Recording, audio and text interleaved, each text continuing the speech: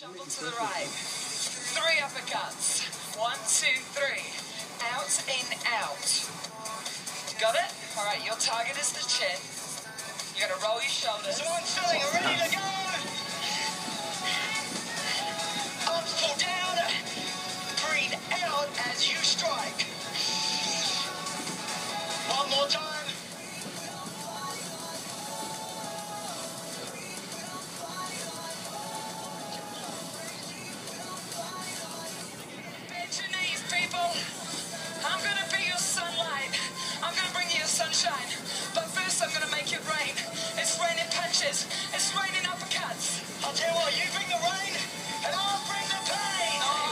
Good afternoon, Team Mission X. I'm here with Eric in um, Orlando, Florida. Right now, we actually made our way to Orlando for the Success Club trip with Beachbody. This this evening is going to be the go away celebration, so we're going to be attending that.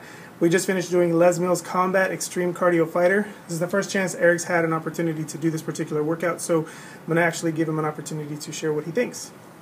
Well, I mean, look at me. I'm soaked. Uh, it's a really good workout. If you've done P90X, which is the only workout program that I've done so far, and you liked Kenpo X in that workout, you'll really like this workout. It's it's very much like that, but it's I think it's more fun. The music, there's like, it's really good pop music, so it's not as just somebody talking.